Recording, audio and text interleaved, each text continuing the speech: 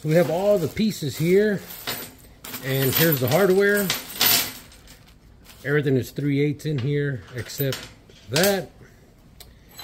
And I got different size bolts because I'm still debating if to do a hinge like this or if to use a spacer this is a 3 eighths by half inch by one. And we're gonna get a longer 3 8 bolt.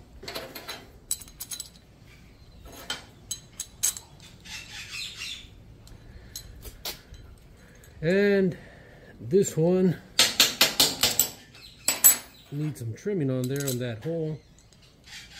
Same thing with this one there we go. Put our spacer there.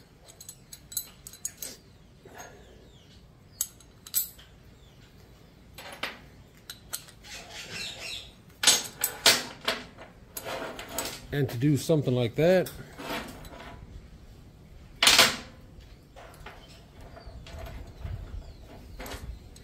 So I'm gonna go ahead and just uh, put the nut on here and show you how they might look on a barbecue pit.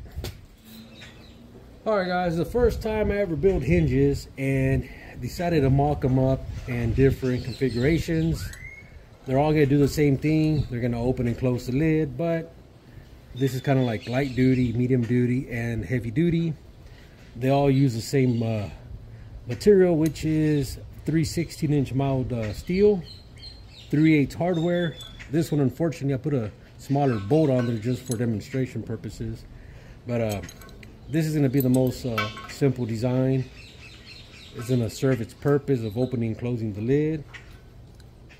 This one is three sections. Looks a bit more uh, medium duty. Same thing. And this one is four sections. My favorite. And same thing. And for this application, I'm leaning towards using this design here.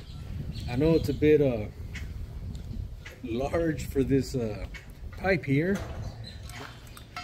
You know, something like this could also work this was my initial um, design but now I'm kind of sticking to this one here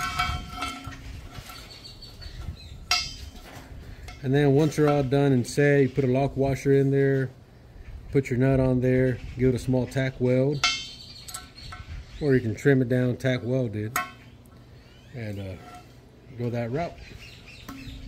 So hopefully y'all enjoyed the video and see you in the next one